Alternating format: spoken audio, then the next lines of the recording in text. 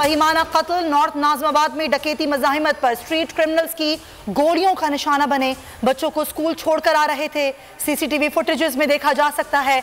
Motorcycle सवार मुलजमान ने शहरी को लूटने के लिए रोका। गाड़ी ने मुलजमान को टक्कर मारी। अथर मतीन ने भी मुलजमान को टक्कर मारी। वाक़ आठ बजकर उनतीस मिनट पर पेश आया। मोटरसाइकिल 2020 में खुशदार से खरीदी गई थी।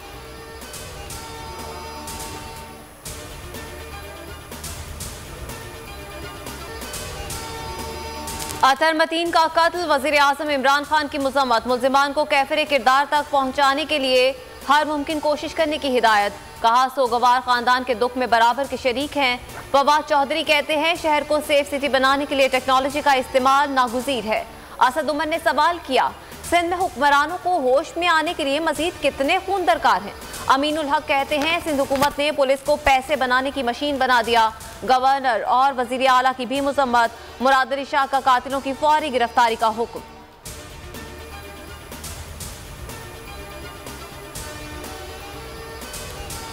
हुकूमत की अवामी राबता मुहिम। वज़ीर आज़म आज मंडी बहाउद्दीन में सियासी पार शो करेंगे। कायद आज़म ग्राउंड में जलसे की तैयारियाँ मुकम्मल कर ली गई। फवाद चौधरी कहते हैं, नवाज़ शरीफ और बिलावल की सियासत खत्म हो रही है। शहबाज शरीफ बहानों से बच नहीं पाएँगे। मदरसों के बच्चों को जमा करके हुकूमत नहीं बदलेगी।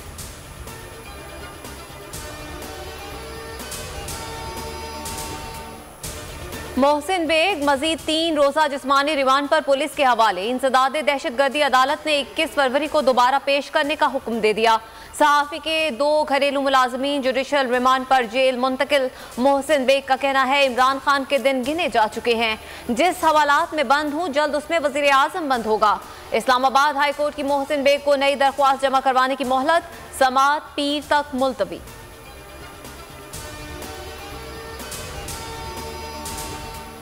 ताहयात नायली फैसलवाडा election commissioner Islamabad high court से मायूस।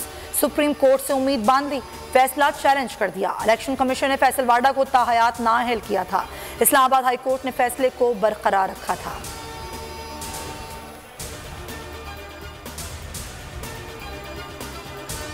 मनी लॉन्ड्रिंग के शहबाज शरीफ और हमजा शहबाज पर आज भी फर्द जुर्मायद ना हो सकी। स्पेशल कोर्ट सेंट्रल ने अबूरी जमानतों में 28 फरवरी तक तोसी कर दी।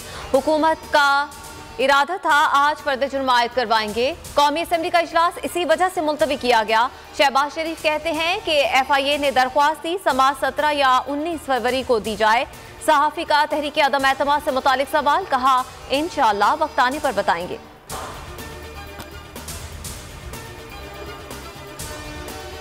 बेनामी अकाउंट्स में 16 अरब जमा करवाया गया। शहबाज शरीफ ने करप्शन नहीं की तो फर्द जुर्मायत होने दे। फारूक हबीब का रद्द अमल, कहा शहबाज शरीफ ने फर्द जुर्म से बचने के लिए नई दरख्वास्त दायर कर दी। मकसद फर्द जुर्म को इल्तवा देना है।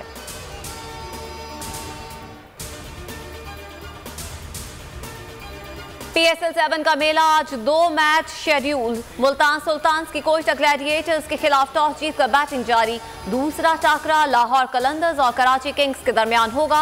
हर मैच पर जावेद मियादाद का तजिया और तबसरा जानिए सिर्फ़ बोल न्यूज़ पर।